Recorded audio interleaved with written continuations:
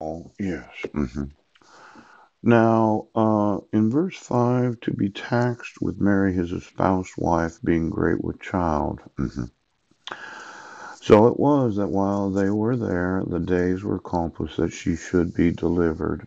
hmm She brought forth her firstborn son, wrapped him in swaddling clothes, and laid him in a manger, because there was no room for them in the inn.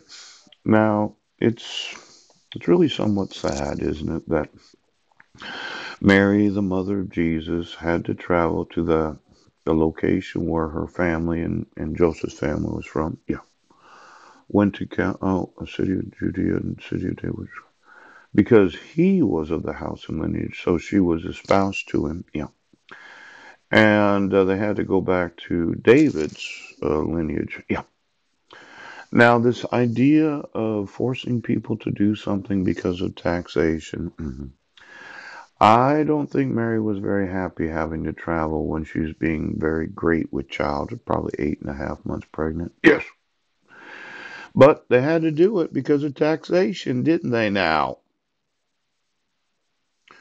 Now, um, you realize that when the court sent to 1023 Kitchen Dick Road, there is not uh, a tax exempt charity that has a physical location that has to support the government. Pooh.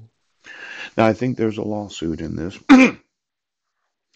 Sending all court notices to uh, the sanctuary, yes. Or a lot of attorneys that would have said, well, he had sanctuary there. Every arrest was illegal because it's. hmm hmm hmm But I would say that Mike never had an obligation to support the government, and he had no obligation to inform the government. Poop. Now, there could be a large lawsuit for the government, yes, having the knowledge that I did not reside there because uh, was December of 2012 that you turned the electricity off on me. Yes, it was.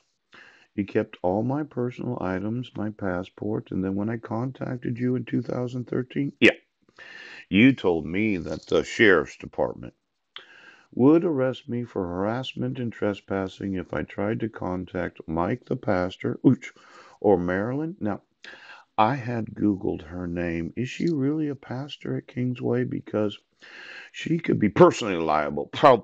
Now, I had mentioned Marilyn, yes, that I thought it was very fraudulent for there to be a picture of my sister Susan Bowers in a Rotarian newsletter. Hmm. Holding either uh, Lugina, the adopted daughter that we don't talk about, or a picture of another little black girl. Poop, poop, poop. Now, as much as I dislike the thought of suing both of them as the pastoral team of the property, yes, that doesn't support the government, no. I'm going to want to talk to Marilyn about her non support of the government of the United States of America. Because I tell you, Marilyn, ouch, I tell you,